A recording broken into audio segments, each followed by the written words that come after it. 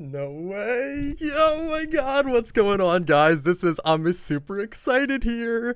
And it looks like that power chord is coming out tonight, unless it's just the Bandskins. If it's just the Bandskins, I swear to god, I'm gonna be so mad. But right here, you can clearly see that I think we're finally going to get power chord back. I just want to make this quick video because I'm so excited right now. If power chord comes back tonight, we did it!